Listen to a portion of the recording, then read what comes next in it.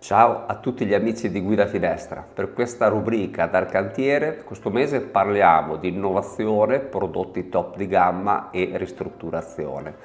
Prendo spunto da questo lavoro, da questo cantiere che abbiamo eseguito a Ferrara, dove l'architetto aveva già setacciato un web e trovato le soluzioni top di gamma, ovvero voleva degli scorrevoli panoramici, voleva degli infissi abbattenti completamente costruiti in vetro, voleva tutte le guide senza nessun tipo di inciampo pavimento, poi voleva i vetri tripli perché aveva bisogno di una prestazione termica importante, voleva una sicurezza ottenuta tramite gli infissi perché non c'era nessuna tapparella, nessun elemento oscurante esterno.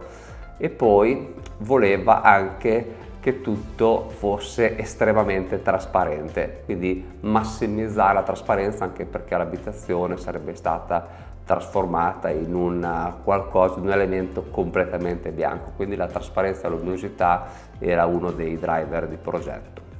La casa era una semplice villettina unifamiliare, tutta su un piano degli anni 80, eseguita in mattoncini che andava trasformata proprio Ecco, e praticamente cosa succedeva? Tutte le piccole finestre classiche di una casa in 80 dovevano essere allargate per riuscire poi a installarsi delle grandi vetrate panoramiche, quindi hanno fatto delle cerchiature, hanno ampliato tutte le finestre e poi sulla parte esterna hanno fatto una specie di frangisole pergola diciamo così per andare a ottimizzare l'apporto luminoso e di calore quindi fare una protezione dal sole poi parte, nella parte sopra di tutto questo tetto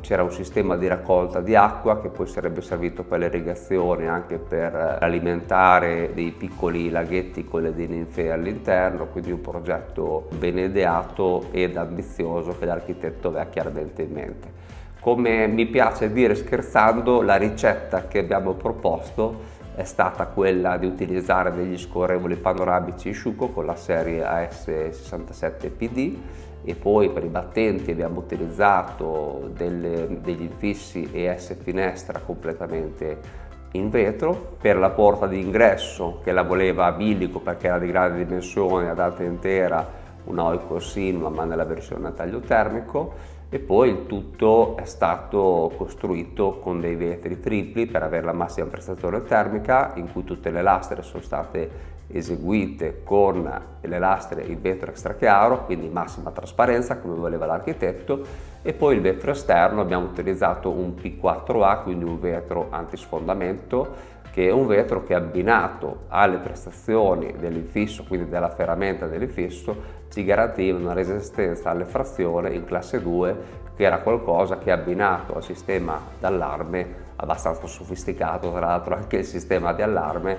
era sufficiente a garantire la sicurezza degli abitanti dell'abitazione. Durante il primo sopralluogo in cantiere ci siamo resi conto che avevano già costruito e realizzato le cerchiature in putrelle di acciaio e le avevano posizionate nella parte interna del muro. Questo cosa, cosa, cosa, comportava? Comportava che solitamente l'infisso panoramico viene installato appunto dall'interno e poi viene costruito una parete, una controparete in cartongesso per nascondere il telaio alla vista non era più possibile perché da dentro essendoci le putrelle non si poteva realizzare quindi abbiamo iniziato a pensare al contrario abbiamo detto proviamo a capovoltare tutto questo sistema abbiamo invertito il controtelaio abbiamo invertito la posa quindi avremmo posato il serramento dell'esterno e poi il cappotto sarebbe, sarebbe realizzato successivamente. Alla fine questa prima intuizione l'abbiamo messa sulla carta, l'abbiamo trasformata in realtà ed ha funzionato molto bene e questa cosa è, è una di que- questo aspetto è uno di quegli aspetti che poi ce lo siamo messi nel nostro bagaglio e ci è servito anche per altri cantieri quando ad esempio ti trovi un cliente che non vuole costruire la controparete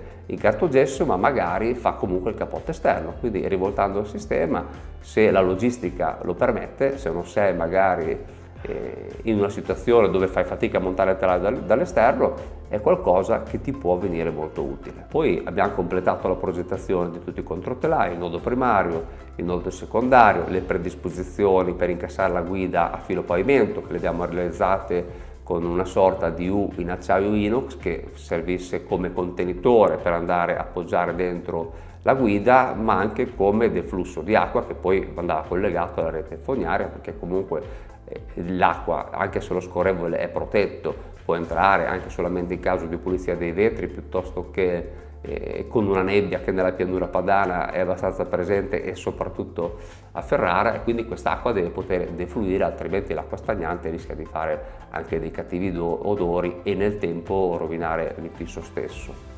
Poi quando abbiamo finito tutti questi dettagli e ci siamo confrontati con la direzione lavori, siamo tornati in cantiere e abbiamo conosciuto l'impresa edile ci siamo resi conto che non era diciamo così, in grado di posare questi materiali perché non l'aveva mai fatto. E questo succede a volte quando si fanno delle soluzioni innovative e poi ristrutturazione, quindi quando si mettono tante difficoltà insieme. Cosa si fa in questo caso? Si va a braccetto, cioè li si accompagna, gli si spiega le cose, gli si dà una mano a posare i controtelai perché se la posa ce l'hanno loro è difficile magari defalcarla dal computo e si controlla accuratamente perché un errore di pochi millimetri in uno scorrevole panoramico, ad esempio una, una, guida posata più in basso più in alto rispetto al pavimento, è qualcosa che poi ti compromette il risultato finale e bisogna andare a smontare e rifare il lavoro. Così come è successo tra l'altro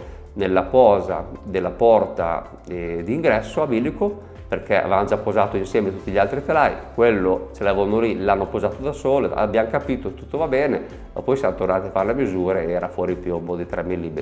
L'abbiamo fatto smontare, l'abbiamo fatto rimontare. Voglio farvi vedere anche un progetto di posa in opera, quello che abbiamo utilizzato per questo cantiere. Questo è un progetto molto dettagliato che va stampato in A3, va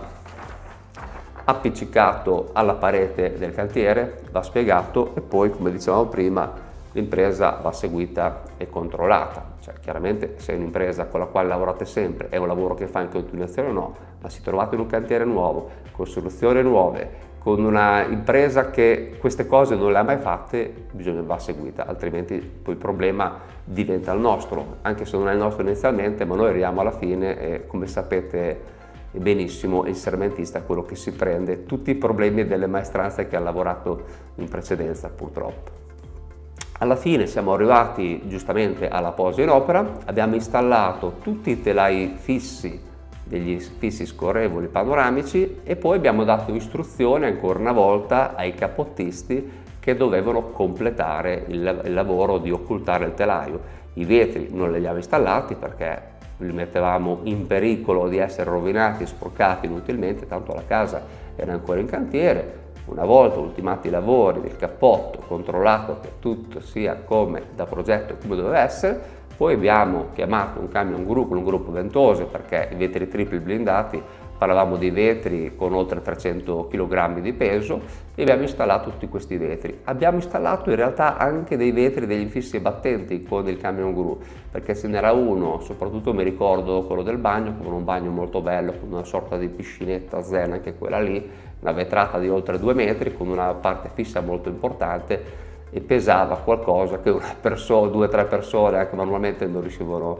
a posarlo. Avevamo la gru lì, abbiamo utilizzato questo strumento che ti permette di posare in sicurezza e preservare la schiena dei nostri amati collaboratori. In conclusione, cioè, voglio dirvi eh, questo, quando si usano soluzioni innovative, si fanno i cantieri di strutturazione, eh, secondo me bisogna essere guidati sempre da passione e da umiltà Passione perché ci deve piacere il nostro lavoro, umiltà, dobbiamo essere sempre aperti a mettere in gioco tutto quello che sappiamo. Cioè, io stesso quando entro in un cantiere, nonostante abbia 36 anni di esperienza sul campo, sia in officina che in cantiere, tutte le volte cioè, mi tolgo il cappello, non faccio l'imparato e cerco di trovare una soluzione migliore per quel tipo di cantiere. Questo è un atteggiamento mentale molto importante che ci permette di crescere ogni cantiere che affrontiamo, ci, crea, ci, ci permette di arricchire le nostre competenze, di arricchire il nostro bagaglio culturale e soprattutto arricchisce tutto il nostro amatissimo settore dei serramenti. Ciao e al prossimo articolo.